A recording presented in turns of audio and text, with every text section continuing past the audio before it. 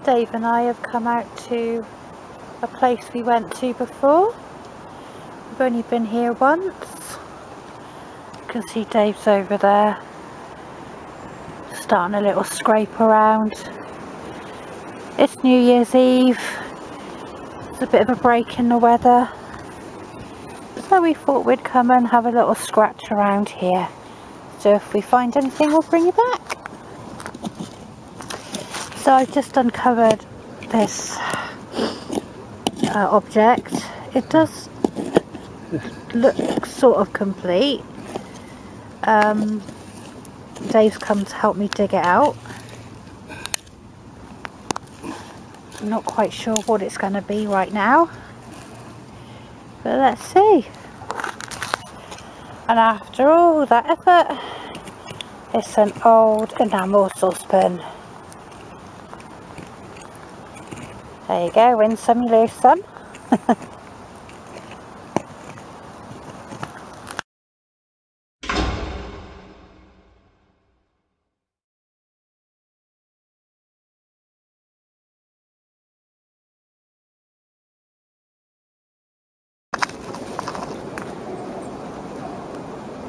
so we've come out for a little look around. A local tip we don't come to very often. Just seen a little collar stud. And Dave's just found a complete marm jar. So yeah, keep a little look out and see what the bottle diggers have been doing. I think I might have a little beauty I've just uncovered. Oh, look at that. Look at this. It's a little dish for some doll's house furniture. Isn't that cute? Oh.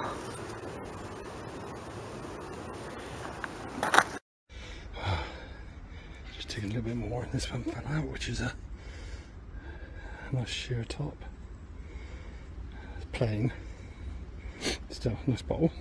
And then this little jar it is a screw top. Oh, I think it's got some writing on it. Yeah, it has. I think it says.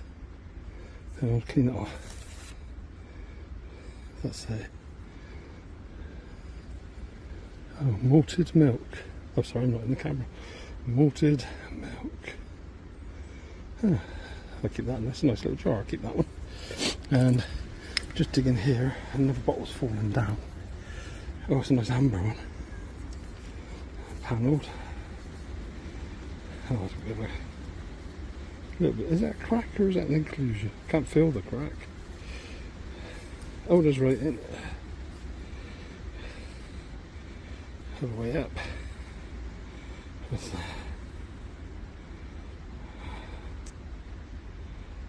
Ward's Harlene, I think. And on the other side. Yes, there is. Let me clean that other side up. I'll clean that when I get home. Might be able to read it easier. Yeah, nice colour bottle there. Come on digging. See if I can find anything else. Look at this absolute gorgeous little bottle here. He's tiny.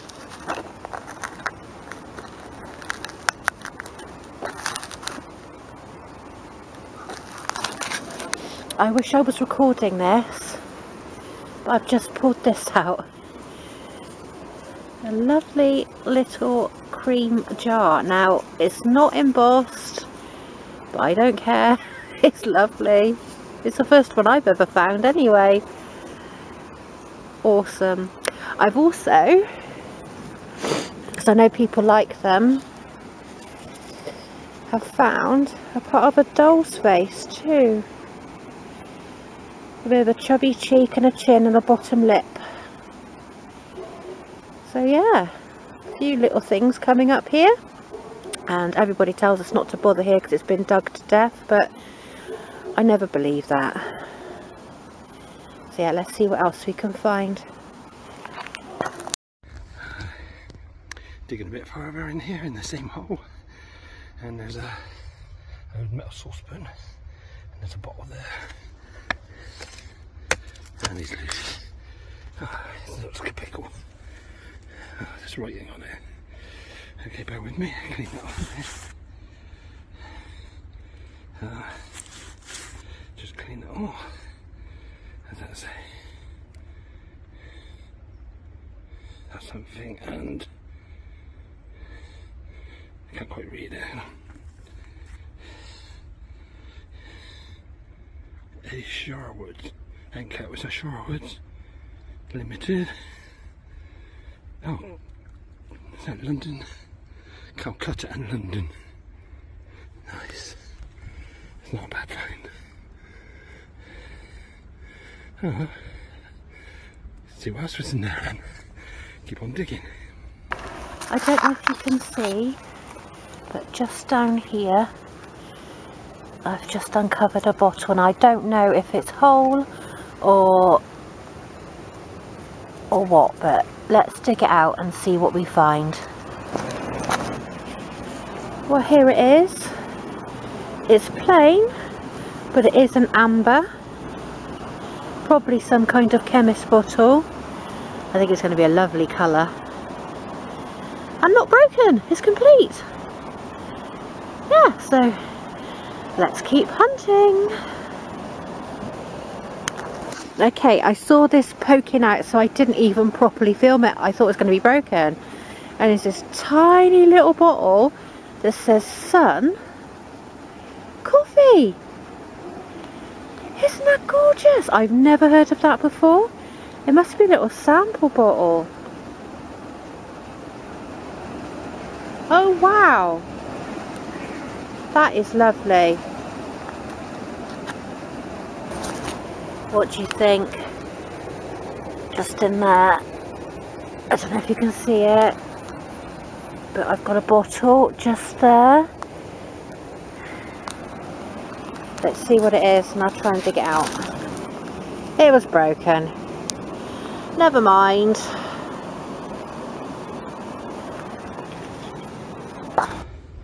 I've me a bit of breath. I had a bit of a dig around here.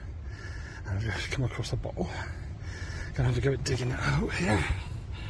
Uh, bear with me. See if we can. Uh, he's loose. And. Oh. What have we got? It's. Oh, it's embossed. Hang on. Clean it off. What have we got? Uh, the West Western the West Wil oh the West Wilts aerated water. I think that's company there and Trowbridge. Oh, it's a local one. That's a nice bottle. Haven't got one of those. Well, we have now. A little bit more scraping around in the hole and just dug out this lovely little hexagonal, sorry, octagonal ink. Lovely condition. Clean that when I get home. And then by it, there was this, what was I say on there? uh, Gordon's something, I think. But we'll, we'll shut up when we get home. And then this lovely light blue with that emblem on it just come out of the ground. And it's just started to rain quite hard, so I think we're to make our way home now. Still, a couple of nice little finds for about an hour's digging along with the nice West Wilts aerated waters bottle. And so that's a few little finds that I've had in about hours digging at this place where we've come and hopefully we'll have to come back again another day. Let's get out of this rain.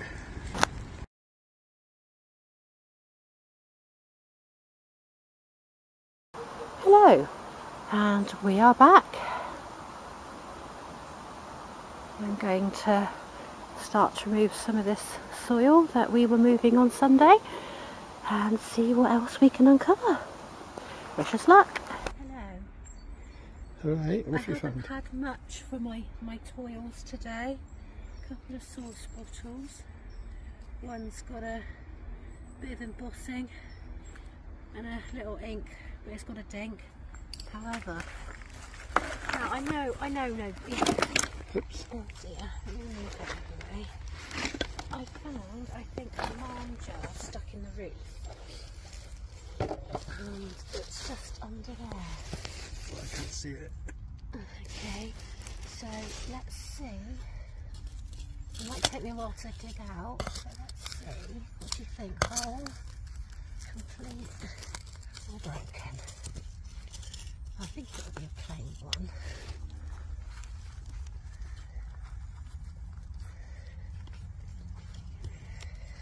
Lots of roots there. Loads of roots here. I'm trying to dig around them.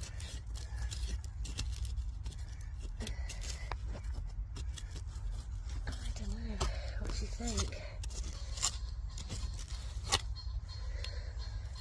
My favourite birds in the background there.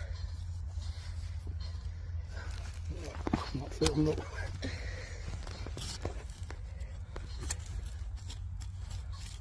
Have to this. Yeah, well, you can stop filming till it's broken.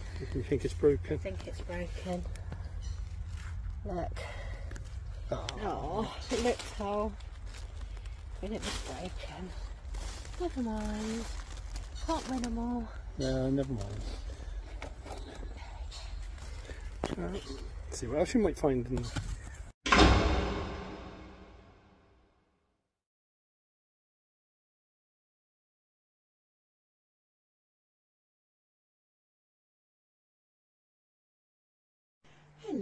from the Moonraker Mudlarks and today we've come out on a really lovely day. We thought we'd come down to another tip that we've been coming to for the last week or so. It's been dug so many times and we're not expecting to find much but uh, yeah we've got a few hours so we thought we'd come to one that's relatively local. So if we find anything interesting to show you I'll be sure to film it for you. Um, so wish us luck. This is my little area. I've already found a couple of things just on the surface. So I thought I'd give this bit here a little go. It's probably already been dug, but not for a while. So let's see what I find.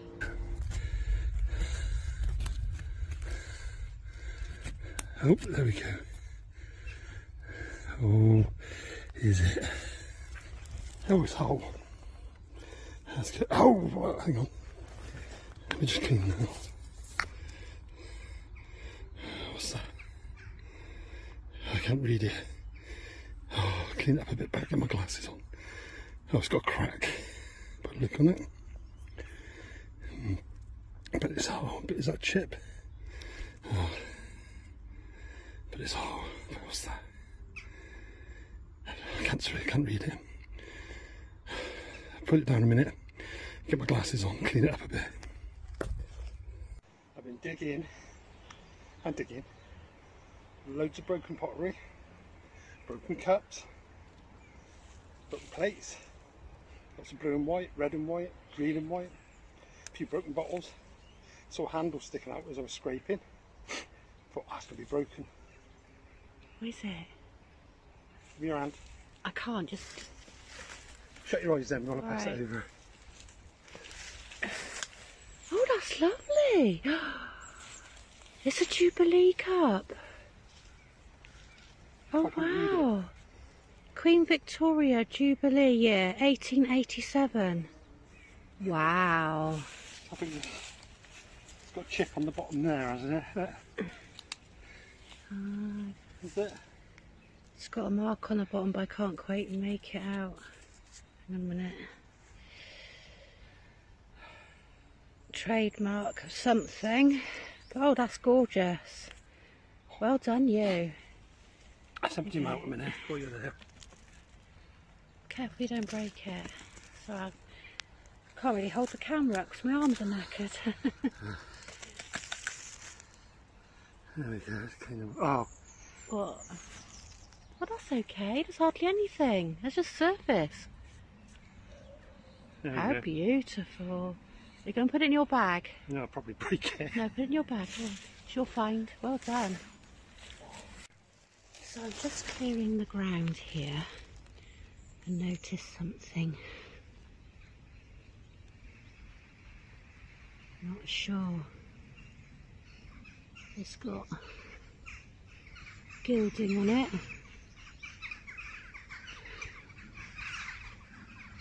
The top of something. Little handle, little knob, or a tip nip. So as I was digging my hole, I've seen a bead fall back in, so I know that there's a blue one in there. But I just found a, I think it's a Codd marble. Very happy with that. All about the little finds today. I'm not after any big bottles, just what I can find.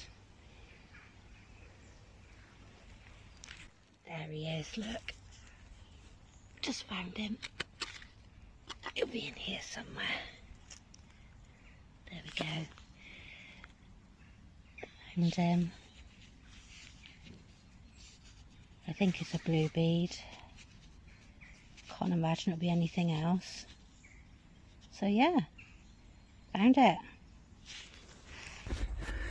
Having a little dig here. I've just uncovered this. So I'm to have a dig around it and see if it's held. We can get in here. Just loosen up underneath it. Like that.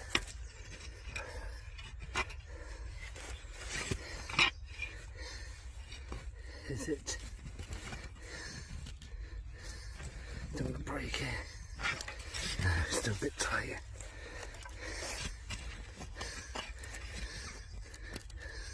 Might be broken already. But we don't want to don't want to break it anymore. Here it comes. Oh, it's broken. What a shame. It's only half of one. Never mind. It looked like it was going to be whole. Oh well, keep digging. Alright. Just heard a little a little shout of excitement. Yeah, um, I'm just, as you can see, just doing my hole. I've literally just moved the bucket and I have no idea where this has just come from. Oh you haven't. You have. Look at this, look at that. I've never seen one that small before, not in that shape. Well done you. Look at. What a brilliant little find. Have you seen one like that before? Not that small, no. Sorry, Ian. Have you got one like this? oh my goodness, I, I, I don't even know where it came from. Well you're old. Well done. well, there you go. Well done, babe. Oh well, get back to my nothing in it hole. Well, you found something beautiful earlier, so Yeah. Okay. Well, I'll get back to my nothing left in it hole. Okay. I spy with my little eye something beginning with V. It's our old friend. Plain one, but very nice. That'll do nicely, thank you very much. There we go, this little bottle's just fallen out. It's a plainy. A very cute, very cute bubbly, possibly a perfume bottle. I like it. Look, another one's just popped out. He's a nice aqua blue colour. Again, plain. Very bubbly. I know people love these. So I might start putting these on my Kofi shop because I don't really bother with it. But uh, yeah, that's a really nice one. Probably good for craft actually. Think of something. So as you can see, my hole is getting a bit bigger. And I don't mean that in a rude sense.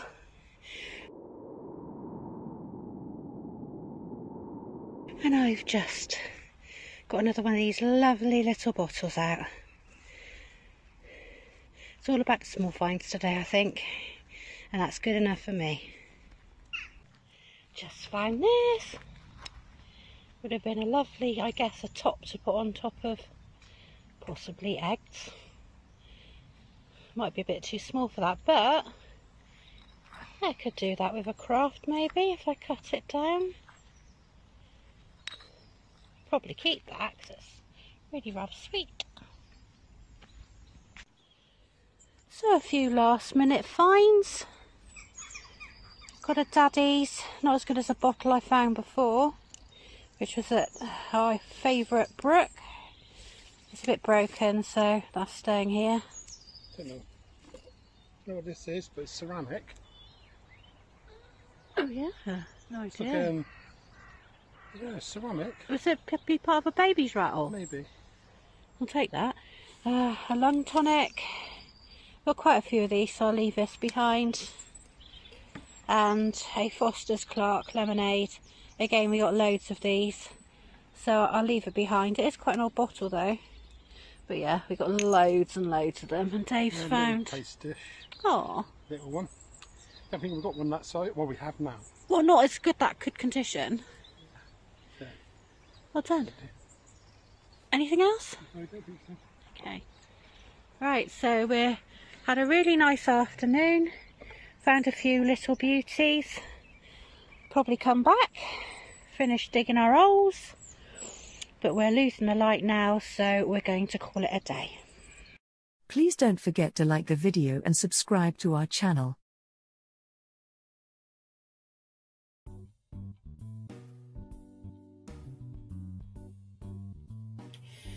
Hello and welcome to our roundup. And in front of you, you can see our finds, all bar one, a little pot that Dave found, which I cannot find anywhere. So let's have a little closer look at these and see what we discovered.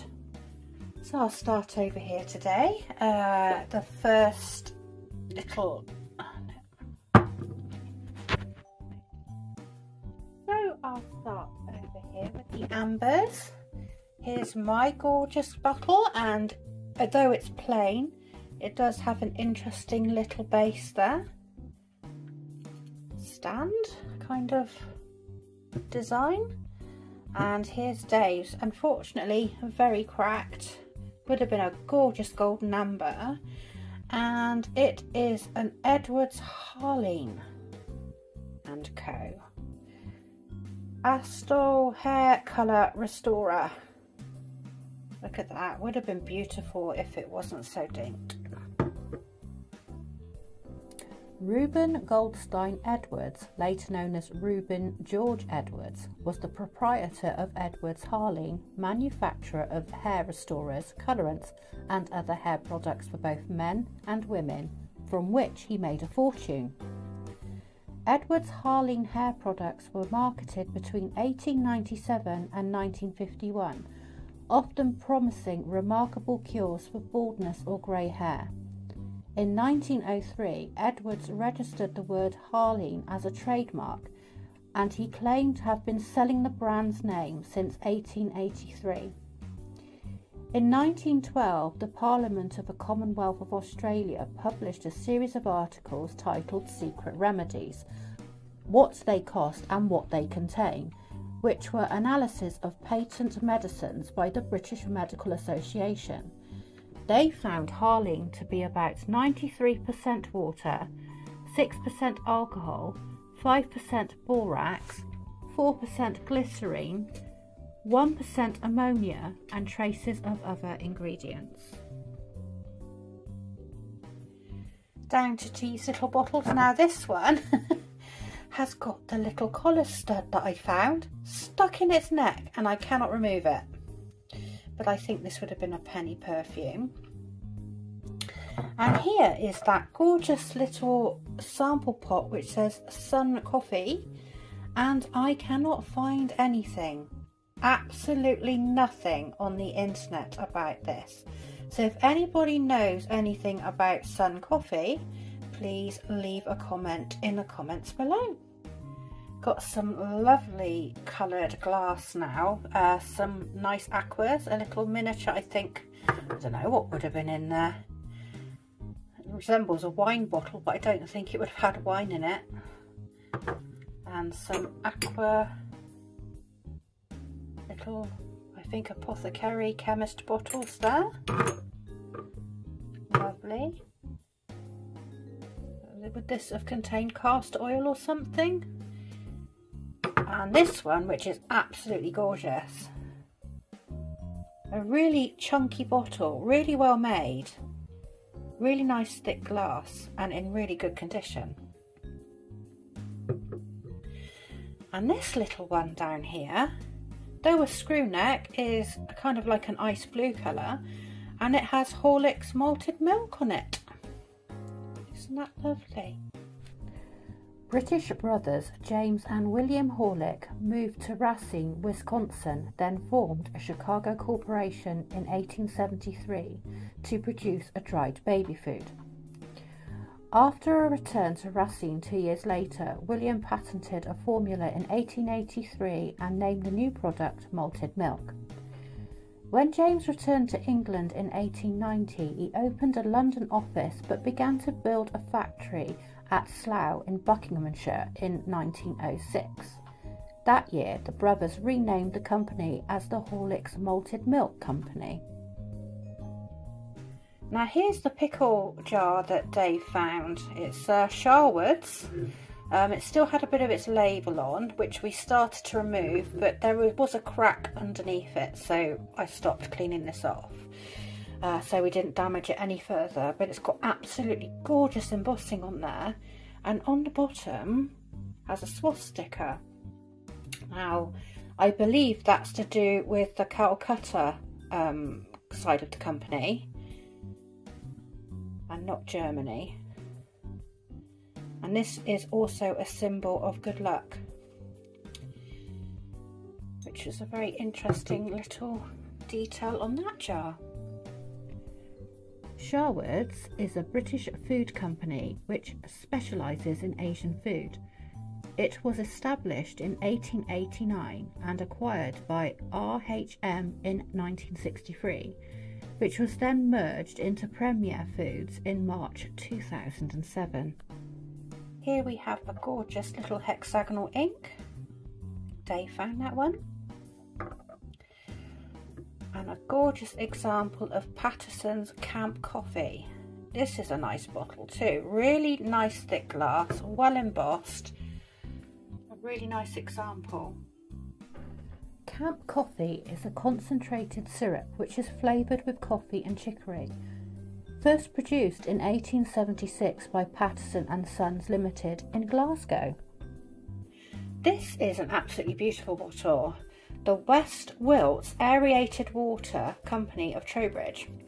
Now I couldn't find anything for this specific branch of the company, um, but there is on the internet uh, Aerated Water Company in Chippenham it doesn't say that it's uh, linked to this particular company though, so unfortunately at the moment I have no information on there. So if you know anything about the West Wiltshire Aerated Water Company of Trowbridge, again please leave a comment in the comments below. Here is my very unexpected star find. A lovely little poison bottle. We definitely don't have one of this size in this shape. So this is the smallest one that we have um, with not to be taken. Beautiful green. And again, like I said, totally surprised that we would find that in this tip. And here's a lovely little bottle that Dave found, which is Bishop's Varalettes. Isn't that gorgeous? You've got the embossing there on the side as well. Beautiful. Varalettes were effervescing lithia tablets for gout and were manufactured in the late 1800s by the London chemist Alfred Bishop. Some miscellaneous finds here. So we've got a milk glass lid, a little glass stopper with Holbrooks on, uh, another little drawer knob a porcelain one. I think that would have been a top two uh, lid as well. I thought this would be a Codd marble, but it's a clay marble. A little doll's house plate. A vulcanite. A bit of china doll with its chubby cheeks and bottom lip. And what would have been the lid to something. I said I might do a craft with this. Not quite sure yet how, but I might do. So keep an eye out for that. Here we have two Yorkshire Relish, uh, Goodall Backhouse and Company bottles. Both slightly different ages and in slightly different conditions. So this bottle is in better condition than this one but I do believe that this bottle will be older. Yorkshire Relish was the highest selling bottled sauce in the Victorian era. It was advertised as the most delicious sauce in the world. Founded by Robert Goodall, Goodall entered into a partnership with William Powell and Henry Backhouse. The firm was known as Goodall, Backhouse and Company. In 1865, Goodall began to manufacture Yorkshire relish. So over to our stoneware, lovely marm jar. Um, it doesn't have the authentic label on the bottom, so this is just a generic one. A cream jar, again no printing on there, no maker's mark, so just a generic one but the first that I found, Dave's found a couple of those so far. And this, which is Dave's star find by far, uh, Queen Victoria commemor commemorative Jubilee mug. And the stamp on the bottom is trademark um, by William Whiteley. Isn't that lovely? Just a slight crack on there, which is just a surface crack in, in the glaze still has its handle and gilding on there. What a beautiful find. William Whiteley was an English entrepreneur of the late 19th and early 20th century. He was the founder of William Whiteley Limited retail company whose department store became the Whiteley Shopping Centre. In 1851, on a visit to London to see the Great Exhibition, his imagination was fired and he got the idea that he could create a store as grand as the Crystal Palace where all goods could be under one roof. On the 24th of January 1907, Whiteley was shot dead at his shop by Horace George Rayner, who was aged 29, who claimed that he was Whiteley's illegitimate son and that his real name was Cecil Whiteley. Though this claim was refuted by Whiteley's attorney at the time, documents were later discovered, potentially proving Rayner's claim. So Dave and I really hope that you enjoyed our latest video. Uh, don't forget to like and subscribe to our channel if you haven't already. Um, it is completely free. It doesn't cost you a penny at all please leave a comment as well. It really helps our channel. Um, and we hope to see you very soon on our next adventure. So bye